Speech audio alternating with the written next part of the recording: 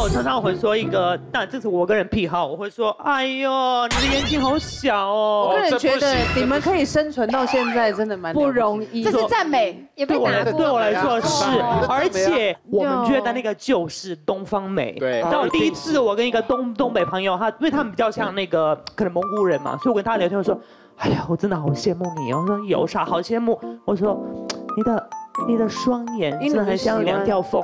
凤眼呐，对我喜欢那种凤眼你不。会觉得真的很哦很会电人吗？他们他们看你的时候就是，你看，如果如果我去呃真心的话，你们看我有多帅。呃，真的有点恐怖。也还好。那个，你知道在我没有开玩笑，你知道在巴西有一个人，他原本很帅，金头发、蓝色眼睛，什么比我们比我还帅，结果他画了。五万美金，为了把他的眼睛弄成这样子的凤眼，他上了 CNN、B、BBC 所有的，因为他哈那些韩国的那个乐团，大家变成跟他们一模一样。哇，新闻。像外国人他们在称赞的时候，其实他们不太会选对象，他就觉得说我很大方，我觉得你很赞，我就告诉你你很赞，像我们刚刚这样子。可是呢，对于台湾的男生来讲，他可能就没有办法接受底下的这一句话。如果你对于一个台湾男生呢，跟他讲说你的女朋友长得很漂亮的话，台湾男生应该要冰得了。啊！对，为什么？你知道吗？有一次就是我一个朋友呢，他们呃几年前，蛮多年前啦，就是一零一他刚刚开始营业的时候，那地下室那个美食街不是很大很大嘛？那因为以前他在呃地下室的时候，还有一间很有名的夜店，所以很多人都会去那边玩。那我这个女生的朋友呢，她就跟她的男朋友，然后还有他们一个好朋友，三个人。总而言之，想说，哎，在夜店开始之前，我们先去美食街吃饱一点，然后再进去玩会比较开心。于是他们到了那美食街之后，发现说，哎因为刚开幕，不是很多人去逛，然后这旁边还有一桌一个男生，他一看就是那种从国外在可能住了很久 A B C 那个样子。回来，然后自己一个人在那边吃，而且他是穿着一个那个吊高傲的背心，然后身体练得很壮哦，很帅。然后我那个朋友呢，那女生呢，她就这样忍不住多看到那个男生一眼，结果她的男朋友就吃醋，就说：“哼 看什么看呢、拜托我，也不过就是一个 A B C 而已，这样很不以为然。哎然后因为他讲的有一点大声，然后我那女生朋友就很怕说人家万一听到听懂了，会不会你知道会吵起来会打架怎样的？结果没想到他们吃一半的时候，那个穿吊嘎链很壮的 A B C 男生就这样走过来，压着桌子，就先看我那朋友女生就问他说：“你单身吗？”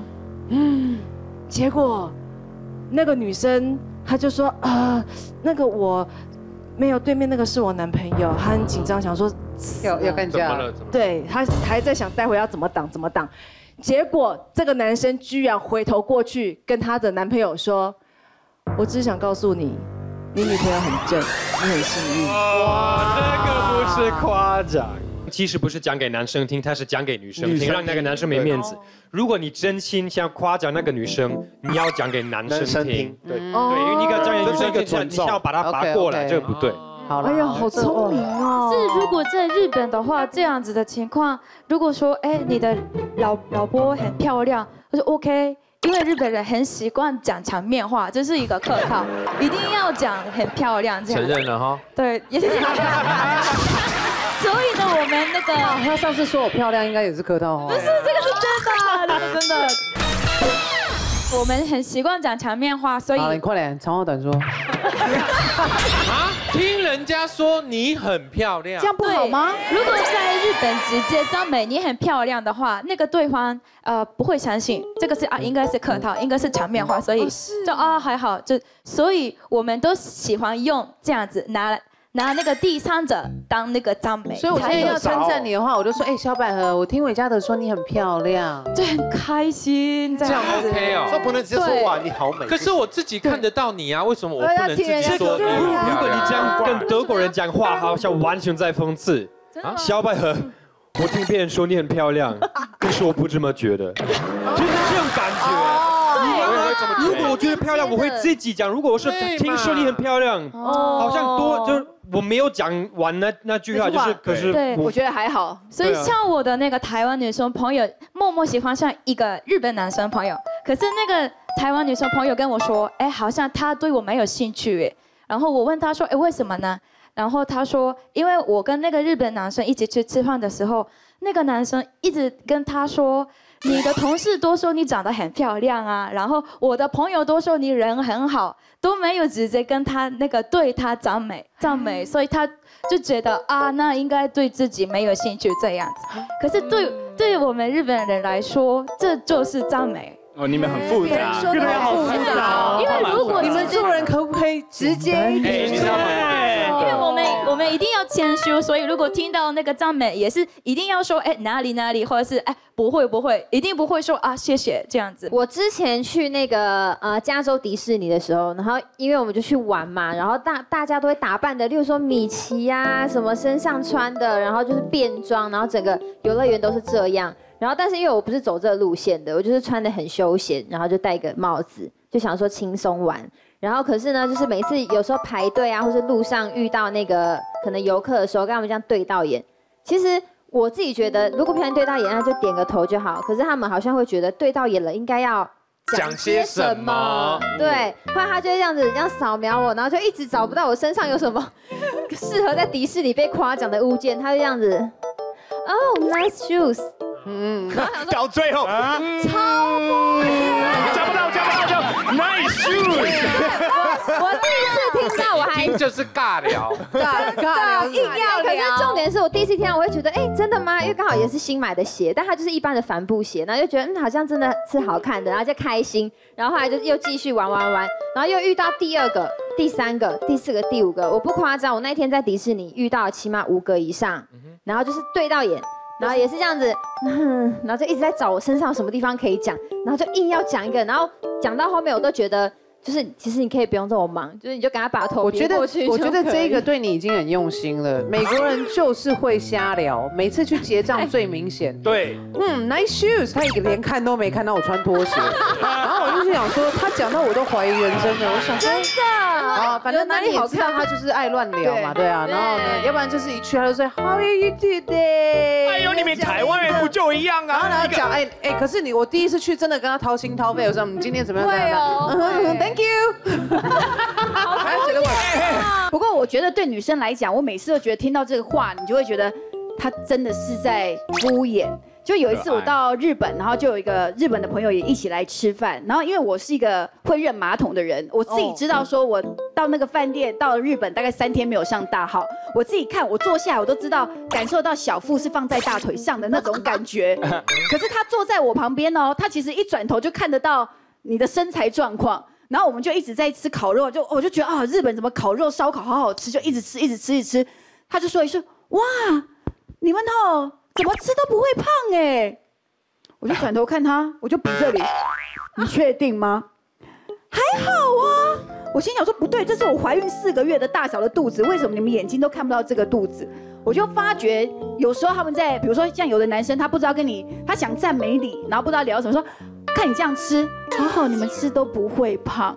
我也觉得这个是很敷衍的事情。台湾女生很会吃，对，很会吃嘛，真的好但是很会吃是真的会发胖啊！你看到的状况可能都是我们可能几天晚餐不吃才有的结果嘛。真的。所以我后来就发觉说，到了国外，你要真的做到怎么吃都不会胖，重点是你要先把肚子的东西排干净，啊。对不对？这个是很重要的重点。所以后来我知道说我自己有认马桶的这个习惯之后呢，我就想说这样不行，肠胃道只要一出国，它就上不出来，会一直拉肚子。我就想说，哎，不对，开始要保养肠胃。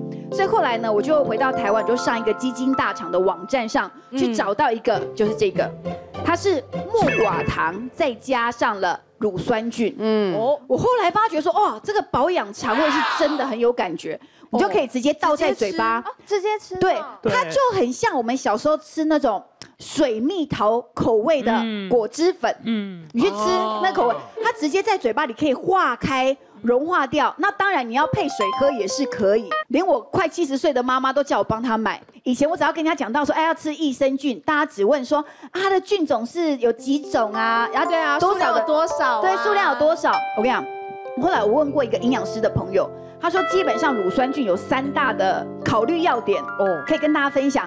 他说第一个，这个菌一定要能够通过胃酸跟胆汁，然后最好能够直达肠道，因为很多的菌呢，它到肠啊、到胃就已经被杀死了，到不了肠。